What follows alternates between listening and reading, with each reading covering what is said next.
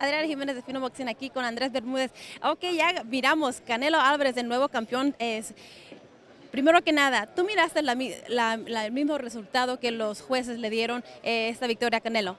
Fíjate, Adriana, que yo tenía una pelea eh, con dos asaltos más para Gennady Golovkin, 115-113, pero no salgo con un mal sabor de boca porque hay que decirlo, Canelo Álvarez el día de hoy demostró de lo que está hecho, es un verdadero campeón, no esperábamos que fuera el hombre que saliera a proponer, a meterle presión a Gennady Golovkin, una gran pelea, inclusive mejor que la primera, y yo creo que ya soñando con esa tercera, la trilogía, porque se debe venir por allí que sí, ojalá que sí. Abel Sánchez le estuvo, dice y dice que se pusiera enfrente de tú por tú y es exactamente lo que hizo Canelo. ¿Te sorprendió eso? Sí, fíjate que, y, también quiero dejar claro algo, ¿no? No se vale, ¿no? La gente que anda diciendo no de robo. Yo creo que la palabra robo aquí está de más porque fue una gran pelea que hizo el, mexicano eh, y más allá del rival que tenía al frente como lo era Golovkin, que lo supo llavear, que conectó golpes de poder, pero el boxeo, la técnica, la estrategia, yo creo que estuvo del lado del Canelo y eso al final le sirvió. También cerrando de manera espectacular el round 12 porque venía de perder para mí los,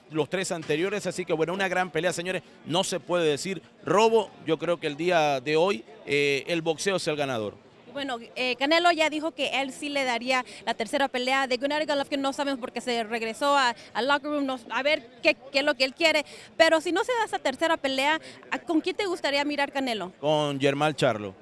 Me gustaría con Germán Charlo. Eh, creo que por ahí está Jaime Munguía, es un gran campeón eh, mexicano, pero yo creo que como él mismo lo ha dicho, hay que darle un poquito más de tiempo, un añito más, y yo creo que él está listo para grandes batallas. Mientras tanto, querría ver a Canelo, si no es con Golovkin, que es la pelea que todo el mundo quiere ver, la trilogía, sería contra Germán Charlo. ¿Y con esta victoria, Canelo es el número uno libra por libra?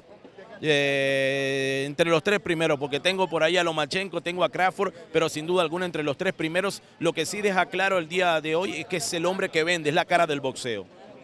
muchísimas, muchísimas gracias.